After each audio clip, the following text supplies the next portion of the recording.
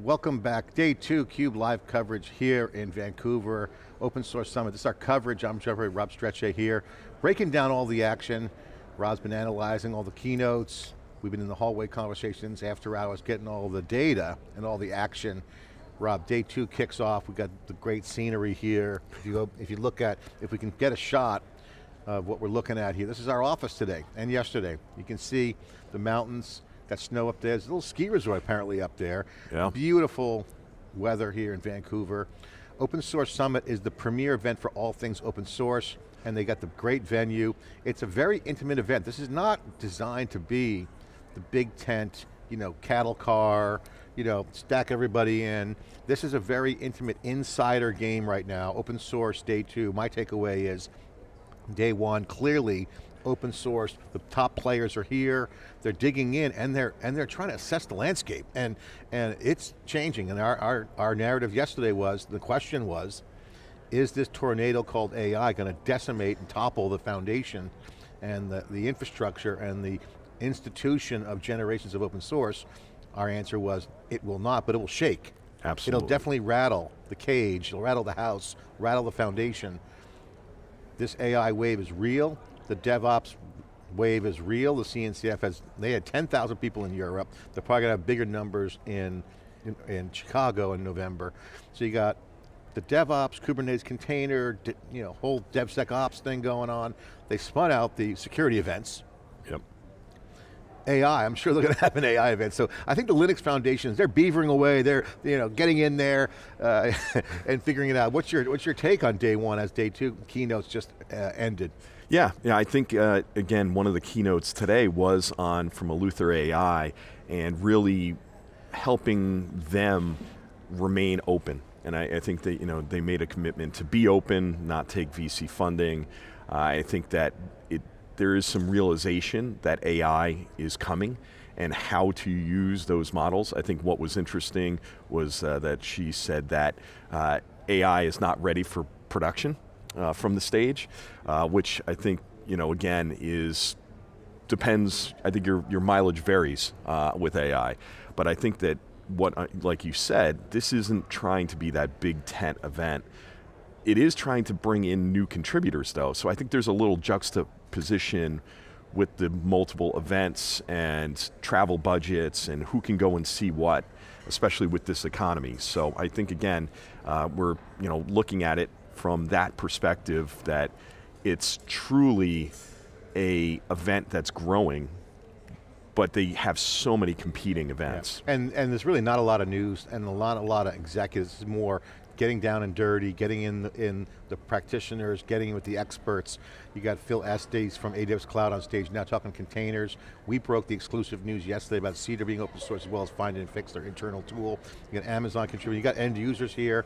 I mean, it's interesting, they call them end users, contributors, but end users are also now companies. Right. So you got corporations like Google and AWS, and then you got companies like Discover, uh, Lyft, and, and Fidelity, yeah. they're donating, they're, they're companies too, but they're donating their stuff to open source. And they have a different agenda. So you have corporations now playing two sides of the coin. You got, I'm going to fund projects like Google, the, they're like the sugar daddy of a lot of projects, yeah. uh, as well as AWS. Then you got Fidelity, they're, they're donating code, so they're the sugar daddy for, for code contribution. So the collision of those two things is a power dynamic that's here to stay. What's your what's your reaction to that? I, I, think it's it's a good thing. I think it, it will keep certain things in check. I think that, uh, and again, especially in the AI world where we're looking at it going, okay, are is this going to be controlled by the open AIs and the Googles and the Metas and the Amazons of the world, or is there going to be an open version of this that can be leveraged by everybody? Or is it just going to be usable via API? And I, I think keeping that check and really pushing that agenda, like we said yesterday, you know, open source is won. And I think that that continuing to catch up with some of the new technologies like AI is, is critical, and I think it's going to be pushed by some of the consumers, as you put it, the Fidelities, Discovers, Lyfts, Metas, who are all you know, contributors, consumers, and companies selling these things. Well, one of the things I really love about what's happening in this market with AI, and we had Stella Biderman on, uh, on stage walking through the open source AI yeah. from the Linux Foundation perspective, is that the vision of the cube has always been an open source concept, a community concept, where we contribute our code, which is media, to the market, and that's been a great formula and it's been a great success. for around 13 years. Of course, SiliconANGLE is a, is a free and open, non-monetized editorial organization. But theCUBE has been media. Now in the speech, uh, one of the generative AI applications that Stella was referring to, and I want to get your reaction, yeah. this interesting thread. There's a, their bullets were powerful new class of AI models, coming. You're seeing what happened to open source. Meta leaks their, or donates their stuff. You got uh, the, the, uh, the donations, Google's leaked memo shows that open source is powering and leveling up and beyond the proprietary models of, of AI. But then second bullet, she says, capable of generating synthetic media. Yeah. Just throwing the word synthetic out there, okay? Synthetic media based on natural language inputs. This is where I see the content as code, vision of the cube, coming out where, where it's all data. It's going to come back down to data. We'll get that in a second. And then she says third, developed primarily by companies and generally not production ready, which you just mentioned. Right. So that's, this is the power dynamic. Data is code, media is code, software is code. This whole infrastructure as code revolution feels like it's going to step function up. It just feels like, you know, you go back 15 years when uh, the early Digerati and the Clouderati of cloud was working on cloud before cloud, it was all about web services. Right. And it's also about infrastructure as code. Look where we are. Okay, if you look at AI, you can say, okay, AI is code, data is code, media is code, software is code. The, uh, the data underlying everything is huge. So the synthetic idea is where we're seeing kind of code pollution on one end, hallucinations on the other, and the large language models, you got graphics, you got Midjourney, you got audio, you got deep fakes. Yeah. We're going to see a lot of misinformation, Rob. I, I agree, and, and, I think that uh, the Linux Foundation is trying to get their hands around this, arms around this. I, I think that was part of bringing uh, Stella from EleutherAI in. Uh, you know, again, not part of the Linux Foundation officially, but hey, here's another another place that we need to stay tight and stay uh, aligned with. And I think uh, Hilary Carter, in her part of the keynote this morning, really went into what is the Linux Foundation's research agenda.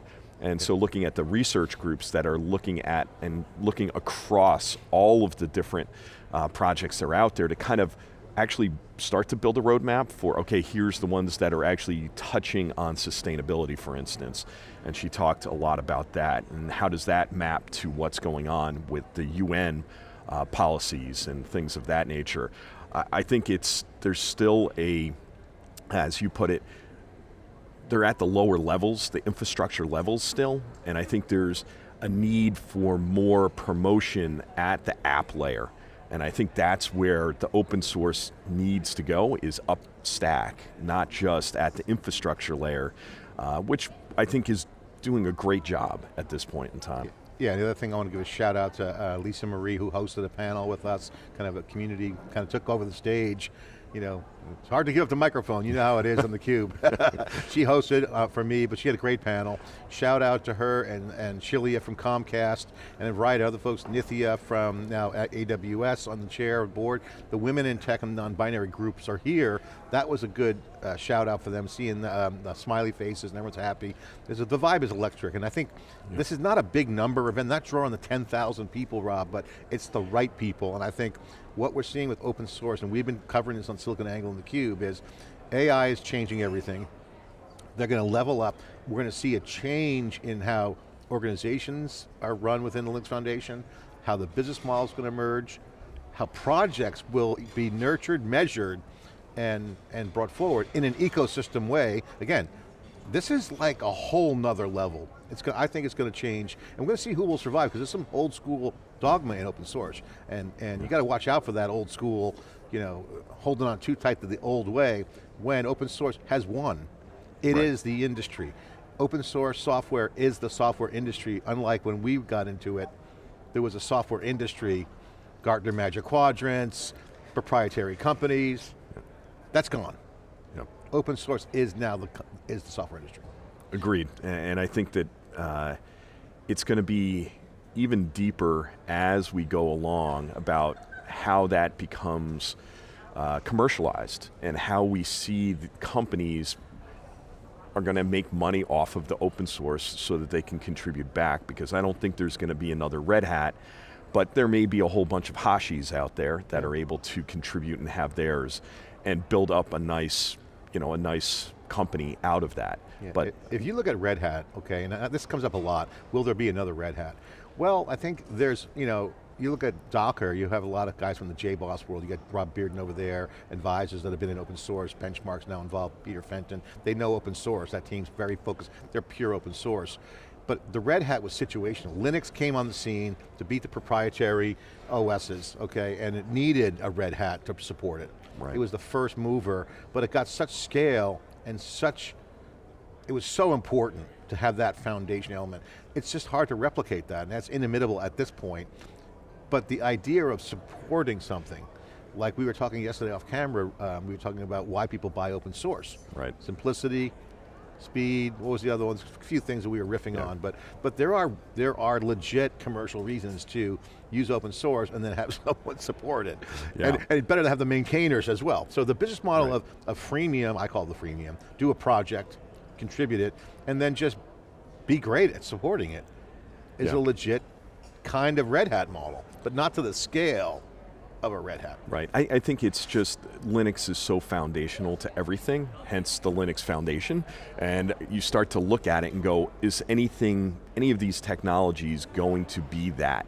And I think, you know, I mean, you got Elon going out and saying he's going to start his open source AI company to compete against OpenAI. Uh, I think that's great, are you still, is it still going to get to that scale? Could that be the next Red Hat? Who knows? But I think maybe in the application space, you start to see people that are able to build that out. But I think what open source has done is democratized a lot of these different, uh, all of these different technologies so that companies can embrace them, embed them, utilize them, hopefully contribute back. Open source is the way developers are going to collaborate, get to know each other as, as world work goes hybrid, even though people want to get back to the office. You're going to have global input and you're going to have integration and transparency and the success of software, uh, no doubt in my mind, Open One and is winning and is the model. It's got transparency, it's got community, which has ecosystems and moats and for competitive advantages, so there's commercial opportunities and there's the mission of writing great software. And the end of the day, the security aspect that we talked about China last night at dinner Right. is important. And open source has proven that if you're, turn the, keep the lights on, you can see everything, right? So seeing everything is good, that's observability. So I believe that we will never revert back to proprietary, except where it's needed. You can have a hard top on something if it's not going to impact, if something differentiated, I can see that working. That could be differentiated software, but to make something platform-wide, it's got to be in the open source, and I think that's going to be the key. And without it, security will be a problem. Um, and that's how cloud cloud started because of open source. If you look at Amazon, it wasn't for it wasn't for uh, you know the hypervisor. Yeah, you know, there would never be no yeah. cloud, right? So Right. open source is the game changer. It's won. And I think how they handle security and data, which essentially feeds AI, is going to be huge. We're seeing AI take over the growth in terms of the contribution. If you look at the academic papers hitting right now, since February, okay, since the meta leak of their code, since the foundation model started to kind of ex- expand very rapidly, LLMs came out, obviously ChatGPT educates everyone, but this is not just about ChatGPT, it's about OpenAI specifically. Right. And then it's like, the advancements of capabilities equaling OpenAI have, have gone crazy. I've read more academic papers in the past six weeks than I have in the past six years. Right. I mean, Yeah. it's been incredible contribution.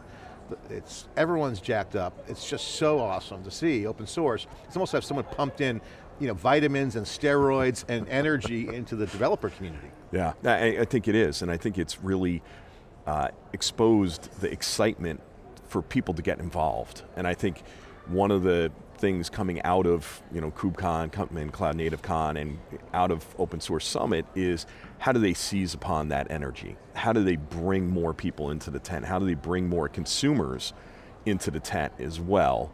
And, and I think that'll that'll be you know, a great effort and a great marketing effort that they need to do from an outreach perspective. You know, and as we wrap up the conference, we got this great view here. Planes are landing. That reminds me of open source projects. You know, plane lands. Okay, another successful project. Plane takes off. Okay, it's, it's off the runway. In this case, the water. Seaplanes are cool. Um, it brings the vibe of, of, of coolness here, and I think we're going to see the Linux Foundation, I think bunker in a little bit and then come out guns blaring with a very strong AI response. I'm expecting the open source community to kind of galvanize around security and open source, while the CNCF continues to be that commercial piston Yes. of, of innovation. I think that's going to continue to rock and roll um, with, with that, and, and I think we're going to hear more of that today. What's your vision of how the future of open source was going to play out here in day two and day three? Yeah, I think it's it's about ecosystems and it's about how these different companies are playing in their ecosystems and how they have co-opetition within them as well as like you said the differentiation that they're building out on top. And I think a lot of that differentiation comes from either SaaS or on-premise deployed versions of X that uh, have a control plane that is unique and differentiated. So we'll see how this Yeah. all plays out, but I think that's the key to this open source and cracking the code for them. Yeah, well we're here, theCUBE's been here, President Creation from day one, um, certainly with CNCF and KubeCon, been to every single one of those, been to multiple Linux Foundation events. This Open Source Summit is the premier event for all things open source. The cube is here on the ground covering and the big wave is coming. It's a tornado, you got to get inside that tornado, otherwise you'll get spun out. And I think that's going to be the challenge in this industry. We're going to see the, the community rise up. Rob, let's kick off day two. We'll be right back with our first guest on day two after this short break.